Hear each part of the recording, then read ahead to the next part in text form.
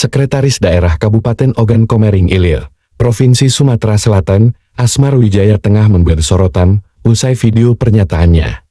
Meminta suara hak pilih untuk pencalonan Bupati Iskandar dan anaknya Alki maju di pemilu legislatif dan kepala daerah. Dalam pidatonya dia menyampaikan pernyataan kontroversial dengan mengarahkan para kepala desa untuk memilih salah satu kandidat anggota DPR RI pada pemilihan legislatif tahun 2024 dan calon kepala daerah untuk pemilu OKI periode mendatang.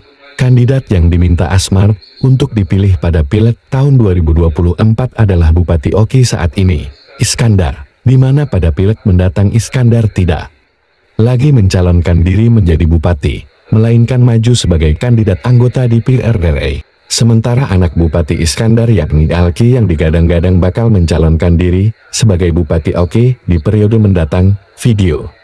Pernyataan Asmar ini pun viral usai diunggah sejumlah akun media Instagram. Salah satu akun yang memposting video tersebut ialah Ek Insta Palembanggram.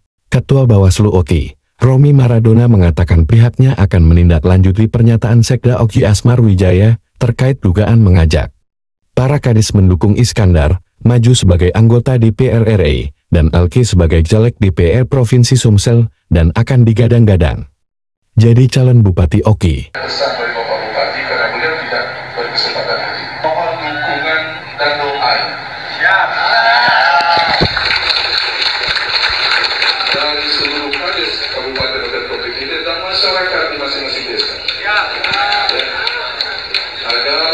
Apa yang dicita-citakan Alki untuk maju sebagai anggota DPR di Provinsi Sumatera Selatan.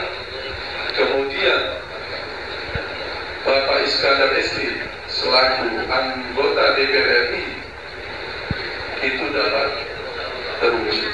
Amin. Tolong sampaikan Pak ya, Pak Kades, sama masyarakat di desa. Tolong sampaikan dulu.